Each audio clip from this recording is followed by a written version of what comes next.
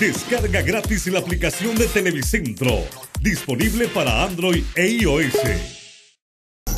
Estadio Ceibeño, fecha 14, con una regular cantidad de público en las graderías, un clima fresco, agradable y con mucha presencia femenina dándole realce al evento. El equipo social Sol de Olanchito visitando a los rojos del Vida. Dos equipos urgidos de puntos en el torneo. El árbitro central, Said Martínez, autoriza el inicio del partido. La primera oportunidad sería para el equipo Social Sol en piernas de Víctor Celestino Arzuza, que este izquierdazo que se va sobre la portería que defiende Ricardo Canales. Brian Moya con este pelotazo al área. Jerry Palacios no la puede peinar y el portero Denis García manda al tiro de esquina. Ya se cobra y de volea sin dejarla caer Marlon Ramírez. El Machuca está poniendo el 1 a 0 favorable para los rojos. Minuto 7 y el Vida ya estaba ganando. Aquí tenemos la reiteración de la jugada como Marlon Ramírez toma de volea ese balón que deja sin oportunidad al portero Denis García. Víctor Arzú sale del partido por lesión. Centro de Leonardo Benedict que Christopher Urmeneta conecta de cabeza hacia arriba. Tiro libre lo cobra Mario Ventura y un desvío dentro del área la pelota se va al fondo de la portería para establecer el 1 a 1 favorable para el equipo Social Sol. Aquí tenemos la reiteración, la forma en que el equipo Social Sol estaba consiguiendo el empate. Es Leonardo Benedict quien gana la línea de fondo, mete este centro, pero la defensa del Vida solventa muy bien. Y así termina el primer tiempo con empate a uno. Algunos aficionados viajaron desde Olanchito para apoyar a su equipo en la Ceiba. Nos vamos a la segunda parte. La oportunidad sería para el equipo Social Sol en piernas de Mario Ventura con este tiro libre que Ricardo Canales manda al tiro de esquina. Ataca el y sería Brian Moya con este pase largo para Marlon Ramírez. Romario Cabachuela no puede evitar que esté a contacto con el balón. Aquí sería el segundo gol del partido. Pase para Sholby Martínez. Remate que el portero Denis García contiene muy bien, pero llegaría el segundo remate de zurda del jugador número 7, Sholby Martínez, que viene de una sequía goleadora.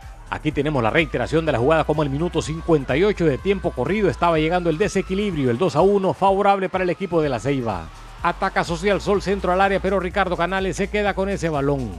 Muy seguro el portero Canales en esos balones aéreos. Minuto 65, tiro libre favorable para el Vida, se cobra en corto. Inicia Sauceda con este remate de pierna derecha. Marcaba el 3 goles a 1 favorable para los rojos, poniéndole la lápida al equipo Social Sol. Aquí tenemos la reiteración de la jugada, como esa pelota pasa en medio de defensas y atacantes, dejando sin oportunidad a García.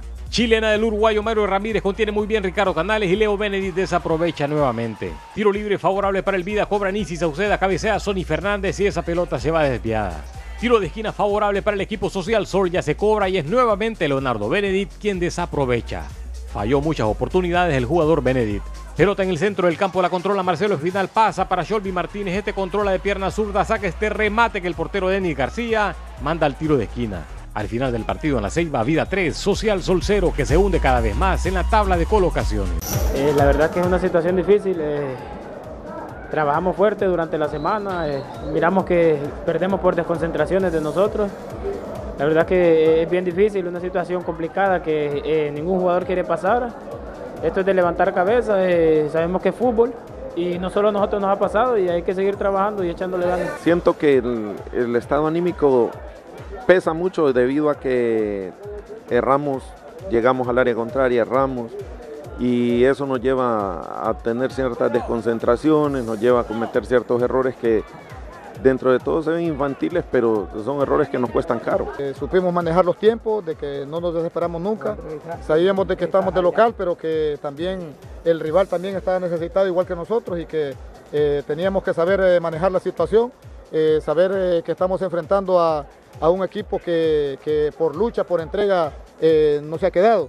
Eh, y bueno, el equilibrio que tuvimos, el, balance entre las líneas que pudimos manejar y eso al final pues, nos da la tranquilidad para poder eh, encontrarnos con el gol.